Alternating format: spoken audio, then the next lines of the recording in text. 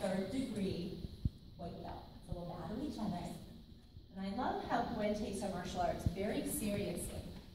You work really hard, you always give it your best try. And how's your listening position? You it. You're doing a good job.